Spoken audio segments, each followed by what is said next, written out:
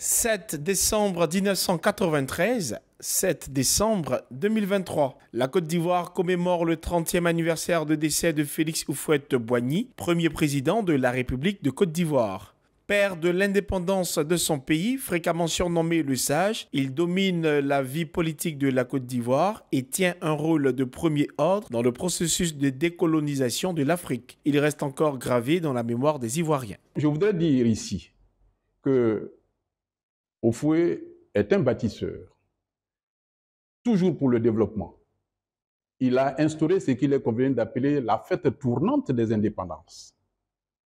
Alors, cette fête tournante des indépendances permet de faire en sorte que chaque région reçoit pour l'année de l'indépendance, cette région qui reçoit par sa capitale régionale devient la capitale de la Côte d'Ivoire.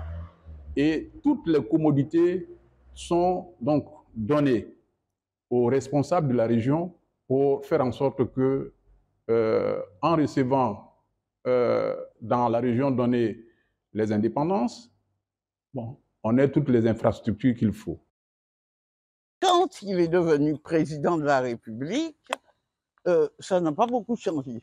Il y a quelque chose qui m'a frappé aussi. Il était très ivoirien. Quand il partait en France, quand il voyageait, euh, quand il était ministre et après, quand il était président, il amenait toujours avec lui de quoi préparer son foutou quand il arrivait, euh, tous les plats antillais. Et euh, à domicile, il était souvent en tenue ivoirienne.